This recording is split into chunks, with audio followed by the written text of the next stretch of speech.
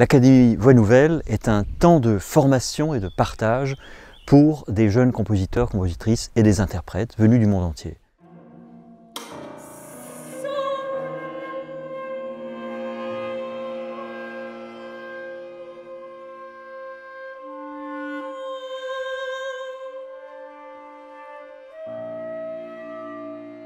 Ces jeunes gens se regroupent pendant quasiment trois semaines dans nos murs pour travailler ensemble et pour les compositeurs élaborer des nouvelles partitions qui vont être créées finalement par de très beaux ensembles comme l'ensemble Musique Fabrique.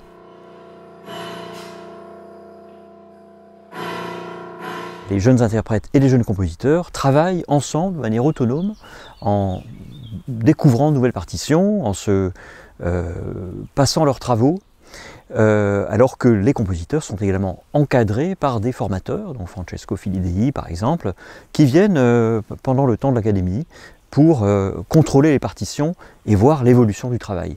On travaille uniquement ici sur des nouvelles œuvres, ce sont donc 12 nouvelles œuvres qui seront jouées au concert du 6 septembre. On fête la 30e édition de cette Académie Voix Nouvelle cette année. C'est une, grande fête de la création qui se déroule tous les ans à Royaumont.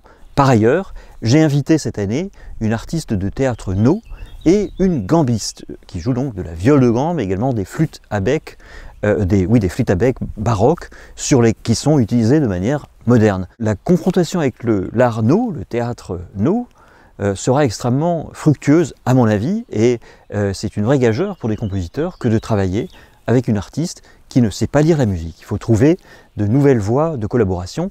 Les œuvres vont être extrêmement spectaculaires et inspirées, j'en suis sûr.